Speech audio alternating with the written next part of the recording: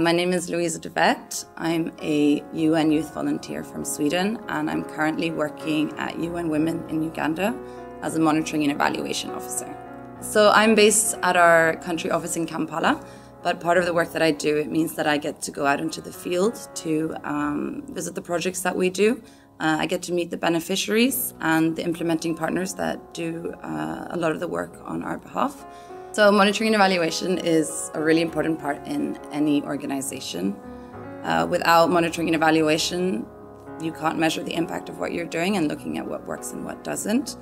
Uh, it's a way for us to be accountable and also to make sure that the intended effects of our interventions are working. So my favorite thing to do actually in my role is to go out into the field and talk to the beneficiaries. For me, it's really important for them to understand that they're the ones that I'm there to listen to and that's actually been really nice for them to see. I don't know if they've necessarily had anyone ask them that before. You can tell actually from their facial expressions and the way that they kind of interact with you and engage in what they choose to share. They feel like they're being heard.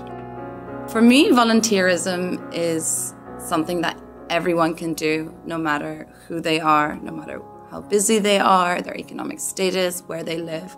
It's about contributing to the community, doing something that helps to contribute to making the world a little bit better.